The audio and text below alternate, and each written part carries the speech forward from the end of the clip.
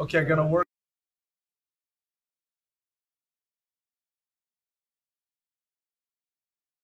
One comes in, and this can be in. A lot of times it can be out too, because I like the freedom of one of the powers of this guard is with the knee up.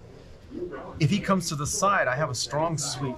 Can move and open him up, but people are usually onto it. So what I like to do is go a little bit deeper with the lasso and allow my knees to collapse, maintaining the grip and maintaining a 90 degree bend. My knees in alignment with my hips and my head and shoulders close.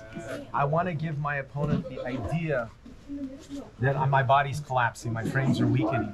And there's a very powerful sweep from here. If Professor Mark starts to come around, I block the hip, move my hip under, stretch my legs, and sit up. Very, very strong sweep.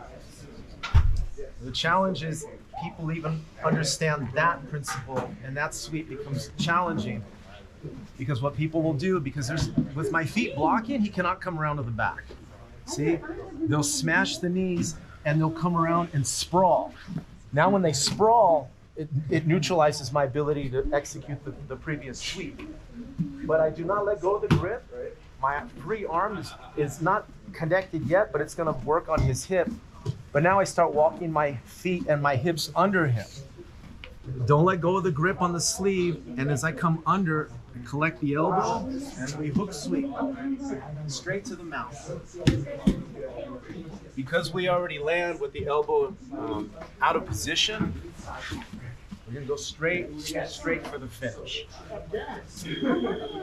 But it is a, a strong way to, to enter into a really powerful sweep with a strong defense against the first technique.